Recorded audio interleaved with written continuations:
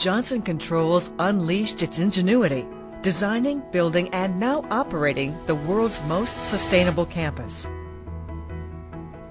We've transformed our 33 acre site into a showplace of innovation, where green, energy saving features are sprouting on the roof, capturing the sun, and creating comfortable, safe, and sustainable building environments.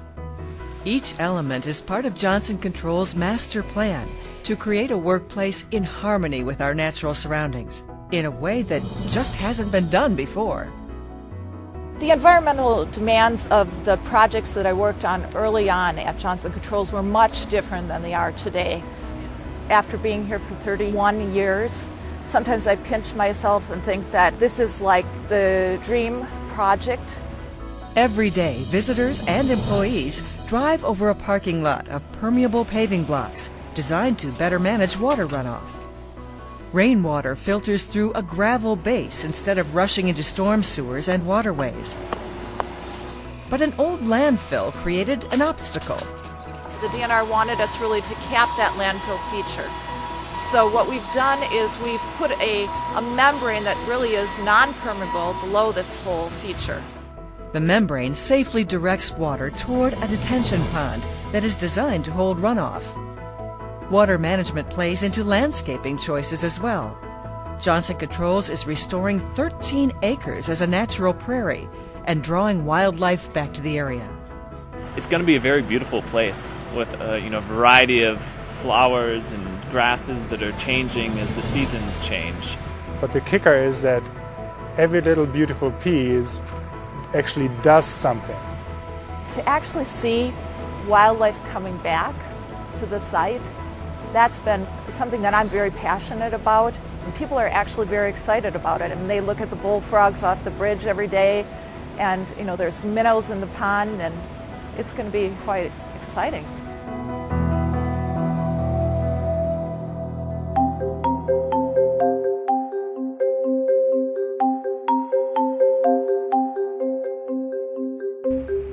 Green energy is helping to power our buildings and reduce our carbon footprint. What we have here is a solar field or a solar array. Johnson Controls is installing a 250 kW system. The 250,000 watts generated from the solar array add to the 135,000 watts of green energy coming from a unique photovoltaic film installed on the roof. Well, here we are on top of the roof of Corporate North, and what you see is the thin film photovoltaic rolls of solar film It'll virtually cover the entire roof of Corporate North.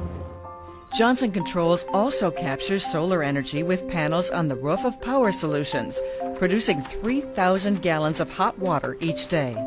In fact, on a sunny day, the combination of solar panels and photovoltaic film creates enough green energy to power one of our seven buildings on campus. And that means we lower greenhouse gas emissions at a rate of 1.1 million pounds per year.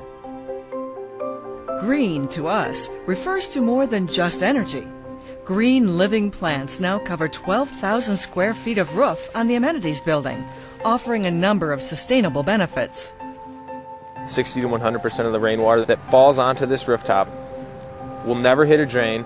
It'll be sucked up through the soil, through the plants, and evaporate away. Generally, these are going to be desert plants. There's going to be some onions up here, some small chives. The green roof naturally insulates the building from extreme temperatures and lasts twice as long as a traditional roof. A green roof is going to reflect away all the sunlight that, that gets to it.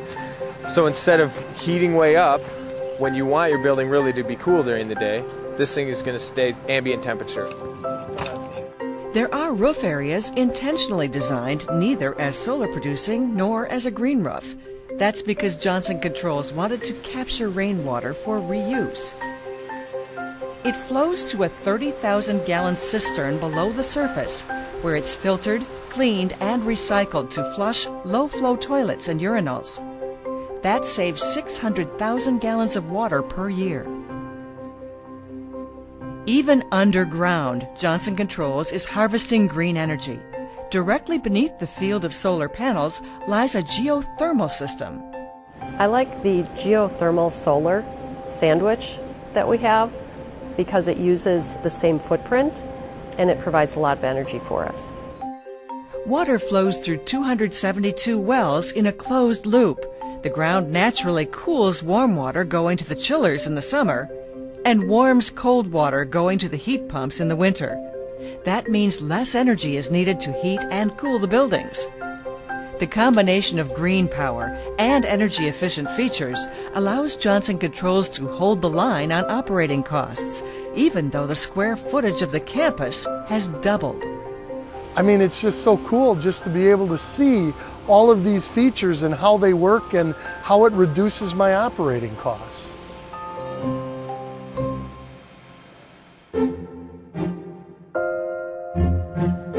Efficiency in design and operation sets Johnson Controls campus apart as a LEED Platinum designed facility, the highest possible designation.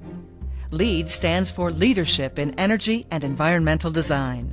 LEED to me is a program which enables buildings to be able to be judged and measured against its performances in carbon footprint, sustainability, and energy consumption. This sustainable campus provides smart environments for about 800 employees. People have workspace choices.